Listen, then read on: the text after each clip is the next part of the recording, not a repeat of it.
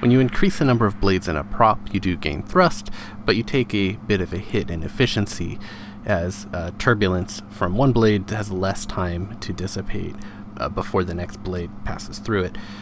Um, but the question is just how much of an effect does this really have? Three bladed props are really popular right now, um, but they're not so easy to modify to test because they un, uh, would be unbalanced if you cut them off. I happened to order some of these xSoul 3030 quad blades, which are really easy to cut down to a two bladed prop and compare the two and the four, which is uh, one would expect slightly less efficient than even the tri-blade version. I ran this test on the DYS 1306 4000 kV motor at 3S. And while we've doubled the number of blades, we've actually only increased the thrust going from two blades to four blades by about 30%. Um, here you can see the uh, quad blade, the unmodified quad blade, is doing about 372 3 uh, grams of thrust, and the uh, two bladed prop uh, gets us about 214. So that's about a 30% increase, which is pretty fair, especially if we look at the amp draw we have a very kind of similar uh, distance between it, slightly more than 30% um, increase in, in or, or, difference in the, the amps there. We're looking at a little over uh, 10 amps, uh, 10.2 amps for the uh, the quad blade, and about seven and a half amps or so for the uh, the bi blade. So we're gaining 30% uh, thrust for about 30% more amps. The efficiency is dropping just slightly, uh, but we are getting basically the power out of it that we're putting into it. So that looks pretty, pretty good. Um, so the thought occurred to me, we're getting a 30% increase in power.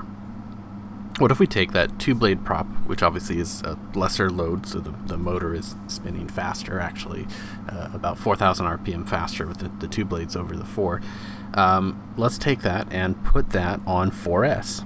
Uh, increase the voltage by 30% and see what we get. And uh, really interesting symmetry when we add that result in. Uh, now remember this is the two-bladed prop on 4S with the four-bladed prop here in the middle.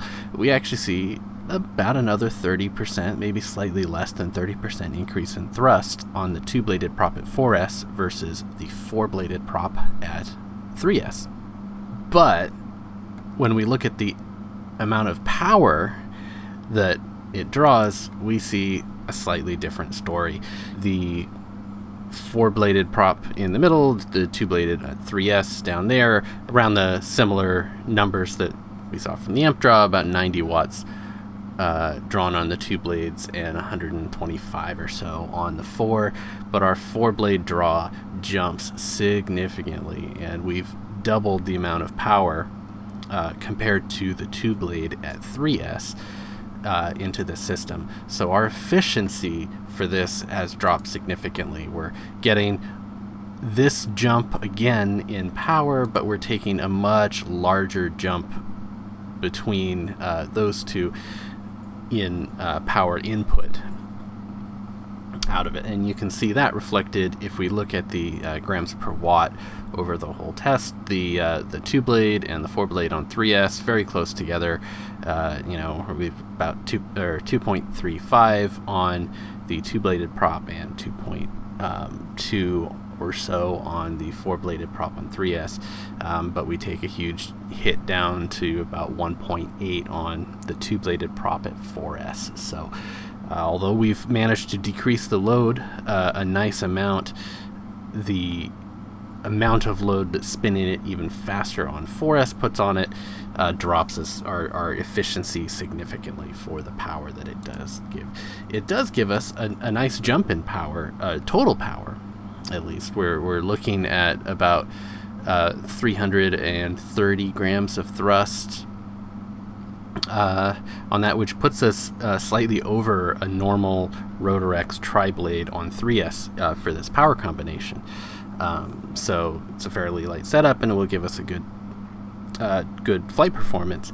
Uh, but that the efficiency drop is very significant because the RotorX prop will give us almost this thrust, but for the efficiency that the actually the efficiency of the, of the two blade, I believe the efficiency on this setup was about a 2.35 for the uh, RotorX prop. So the efficiency of the uh, the lowest thrust one here, but the thrust values much higher up.